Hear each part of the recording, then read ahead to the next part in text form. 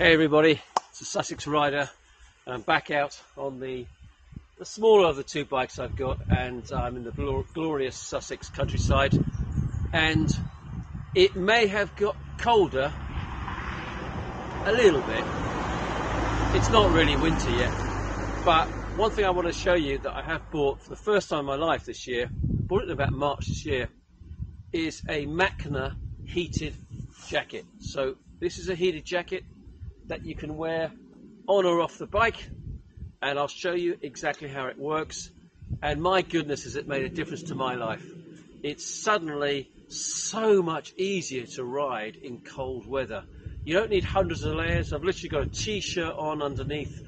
I've got my uh, jacket, obviously, uh, and I've noticed that in the mornings when it's a little bit chillier than, than it was maybe a month ago, or in the evenings, it's made a massive difference. So, how does it work? Well, there are two options. The first one is the battery option, just a single battery option that you can attach to your uh, jacket on the inside.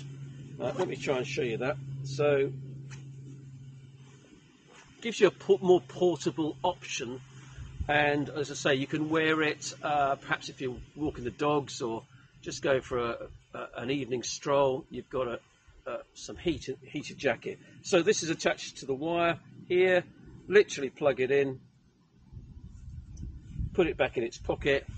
You've got buttons on the top of your jacket. You can just press it on or off, and you can adjust the settings. I think there's four settings. So for really cold, um, you know, if it's really really cold, you can have it on the highest setting. But I have to say that's really hot. Um, but I usually have it on about setting two or three out of the four settings. Uh, so that lasts about three and a half hours, and I think that's a good option. Gives you more flexibility, particularly when I when I hop between different bikes. So if I jump on the Interceptor I, I, and it's cold, I can just you know simply use this one. Um, the other option is to hardwire it to the battery, and I have done that on this bike. I'm going to bring you in a little bit closer and show you how that works. So bear with me as I adjust the camera.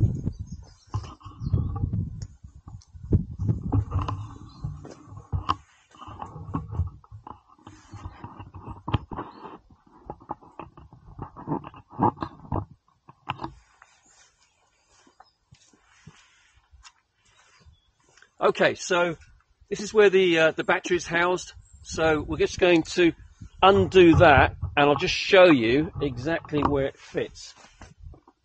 Interestingly enough, the one great thing about this Enfield is you've got almost you know a really easy place to, to store it. I mean, I've got the wires here, and you would simply attach it to the jacket. They're really long wires. I think they're like you know a meter and a half, so you've got plenty of plenty of wires, uh, plenty of space, and you can literally hop on and off the bike no problem at all.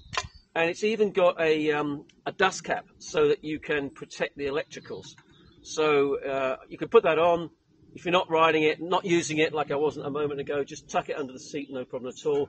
It fits really nicely on the uh, on this bike. Um, just because it, it fits under this frame uh, metal cover, no problem at all. There's not sort of an issue with it. You can pull it in and out. You can see it's not cutting into the wire, causing any problems. So um, if you um, undo that, you've got your toolkit, of course, in here. You've got your battery and uh, some of the electrics here coming down, and it's all. There's actually, I think, a bit of space. So um, that's really nice to see because a lot of bikes I've ridden in the past, you have to dismantle the plastics, and that takes forever. Got some walkers going past. Morning. Good morning. Sussex Downs walk. Yes. Beautiful. Enjoy. Enjoy. Done a bit myself. So you've got plenty of room down here, and you attach the the um, the cable to that. When you close it up, as I say, you've got plenty of room as well. That's nice and tight. Now, let me put the camera back and show you how that attaches back here.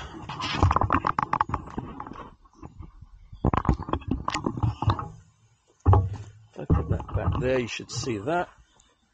So when I jump on the bike, it's really easy to connect this. Literally, that's it. Connect the two. Do my jacket up. No, obviously I'm not going to put my helmet on and my jacket and ride it, but that's how easy it is. There's plenty of cable. You can literally put your leg over like that. If you've got too much excess, which I have got here now, I literally just bundle it up, tuck it under the seat. Classic 350 is a really nice um, sort of space underneath there. I've never had a problem. It's never blown out of there and any caused any any problems at all. Sucks in nicely, and uh, you don't even notice there. If you wanted to, you could do it the other way. I've done that before. From you know different situations, just bundle it up, stick it under your jacket, and uh, off you ride. Um, I've never, as I say, had an issue with it, and equally, when I get off the bike, it's just a case of undoing that, and off you go. So, you know, if you feel the cold, if you find yourself at times thinking, gosh, I really need another layer on, you can invest in one of these jackets. They're really, really good. I, I think there was less than, I think it was about £200, somewhere about that. Um, the four settings are great, literally lights up. I'll try and do it actually. I'll connect it and try and light it up. Um, so, there I go. You can't see that, but I can press these buttons here. And then I can adjust the heat. It also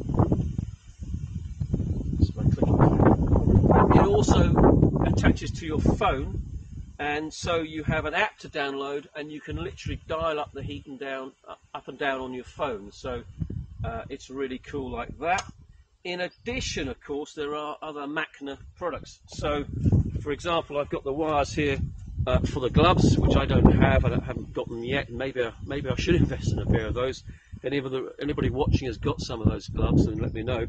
Uh, heated gloves. My son had a pair.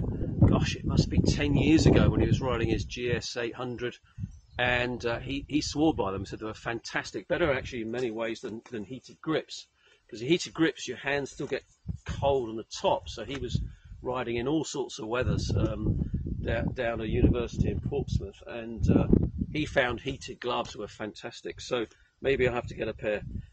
I can't speak too highly enough about this jacket. The Macna jacket is absolutely fantastic. It transforms my riding, and I don't think it looks that bad.